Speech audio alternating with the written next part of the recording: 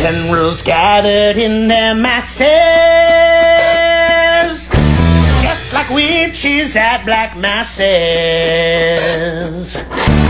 Evil minds that plot destruction,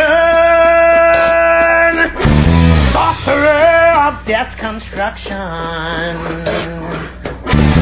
In the fields, the bodies burning as the war machine keeps turning.